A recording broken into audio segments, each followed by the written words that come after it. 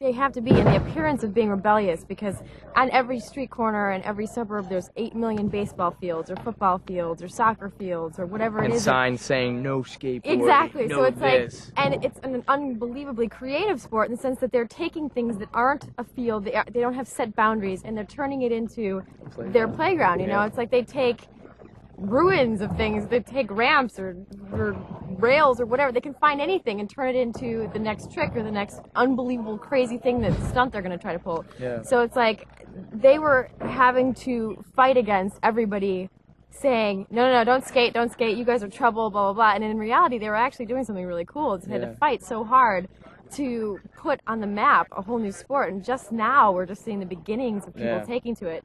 They're like, everybody I talk to, they're like, oh my gosh, my son totally loves skateboarding. My daughter totally loves skateboarding. And it's like the seven, eight, nine, ten year olds who are like totally taking to it right now. And it's like the very, very beginnings of that taking off.